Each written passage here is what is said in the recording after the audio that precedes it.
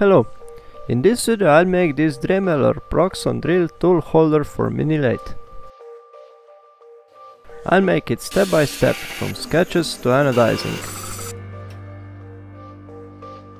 I got this great tool Proxxon which I want to use in mini lathe, so I must make some holder for it to mount here on quick change tool post. For that I just need a simple piece to clamp the drill and mount here in tool holder. First make some measurements and draw it for easier work. Okay, that's what I want to sketch. Piece is really simple to draw and also to make, but it's worth the gold when you need it. There is just two important measure. One of them is that hole to clamp the drill, in my case 20mm, and that measure, depends on what kind of tool holder you got. In my tool holder I can insert max 12mm tool, so I make something between 10 and 12mm, it doesn't matter. There I cut the piece to half and add a screw to clamp drill into. I will make this out of aluminium, because there is no some big forces on 100 watts drill. So let's find some piece of aluminium.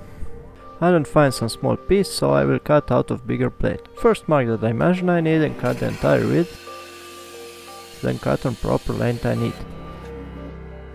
Okay, now prepare the milling machine and mill the piece all around from all 6 sides to get out nice finished piece. When turning the piece around, always cut the edges or the vice will squeeze it and the part will deform. Top and bottom surface are will aligned with a homemade fly cutter, which worked just great. And that's how the piece look.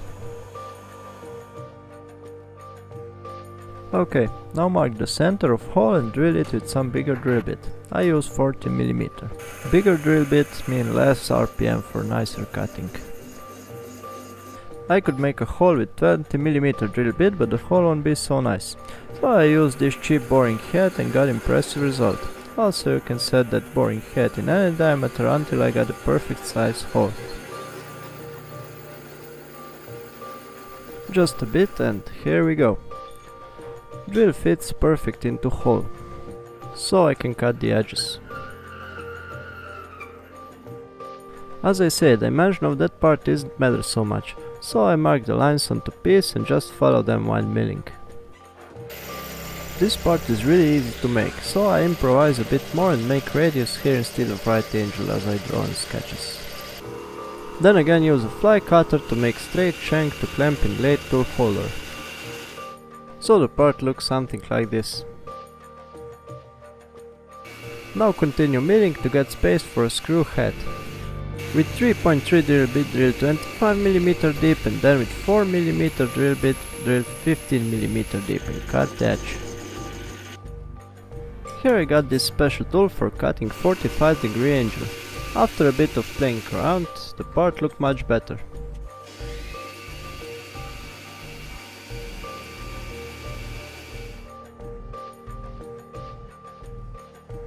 Now mark the center of hole to cut it in half.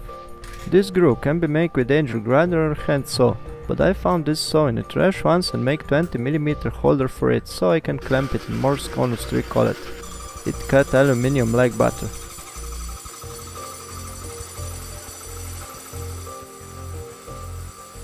When I cut the first wall, put the piece a bit out of vise and cut a bit more on other side of hole, so tightening will be easier and stronger.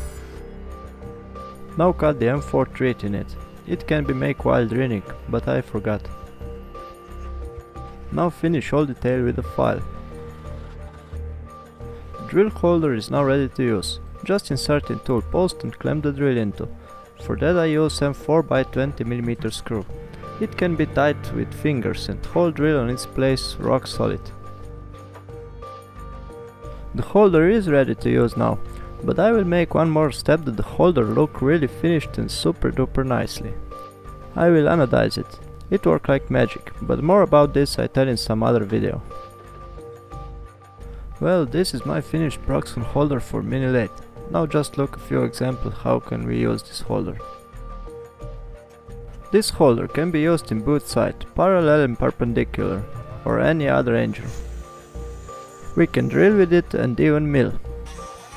Sometimes I need to grind some strong steel or cutting steel, but be careful there to cover the lid every time you grind on lathe.